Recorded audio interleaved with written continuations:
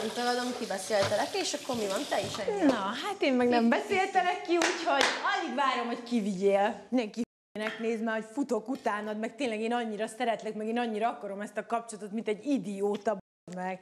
Az közben te meg csak akkor keresti, amikor a Denis szépen rosszba voltál, hogy kibeszéd nekem a Denis. Na, Hagyjuk már ezt, jó? Ide okay. le fogjuk fájtolni.